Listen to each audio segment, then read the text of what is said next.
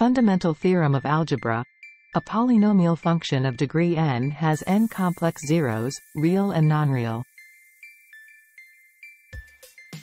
Some of these zeros may be repeated. This is a significant result related to the complex numbers, demonstrating the existence of complex roots for polynomial equations. The fundamental theorem of algebra and the linear factorization theorem tell us of the existence of zeros and linear factors, but not how to find them. One connection is lost going from real zeros to complex zeros.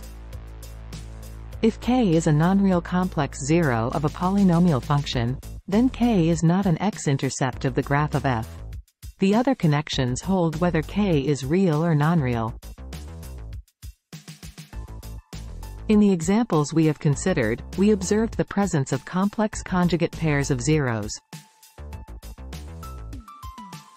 For instance, for the polynomial function y equals x minus i, x plus i. If we expand it using FOIL method, x, i, and negative, x, i, are cancelled, and i, squared is negative 1. Therefore, it becomes x squared plus 1. This polynomial has two zeros, i and minus i, but neither of them is a real number, so they do not intersect the x-axis when you graph it. For the polynomial function y equals x minus 1, x minus i, x plus i, we expand it to x cubed minus x squared plus x minus 1. This polynomial has three zeros, i, minus i, and 1, but only 1 is a real number, so it is the only x-intercept when you graph it.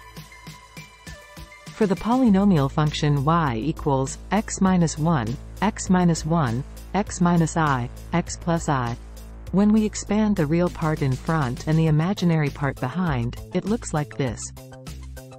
We expand it to y equals x to the power of 4 minus 2x cubed plus 2x squared minus 2x plus 1. This polynomial has four zeros, i, minus i, and two repetitions of 1, but 1 is the only real number and the only x-intercept when you graph it. In a previous class, you learned about the quadratic formula for quadratic equations of the form x squared plus bx plus c equals 0 with real coefficients. If the discriminant b squared minus 4ac is negative, you have complex solutions.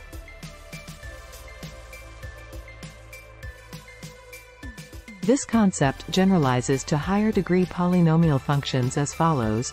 If f, x, is a polynomial function with real coefficients, and a plus b, i, is a zero of f, x, where b does not equal zero, then its complex conjugate a minus b, i, is also a zero of f, x.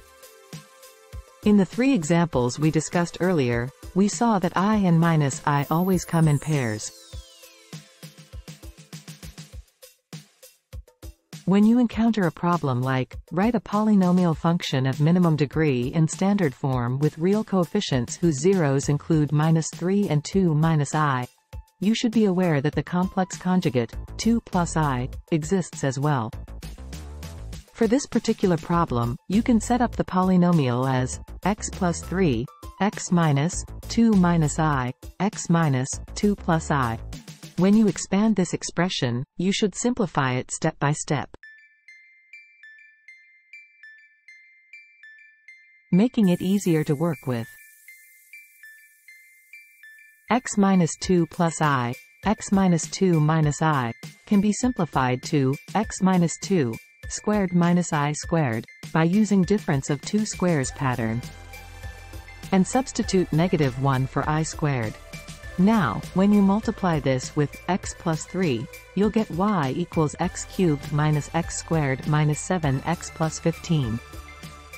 This is your polynomial function in standard form with real coefficients.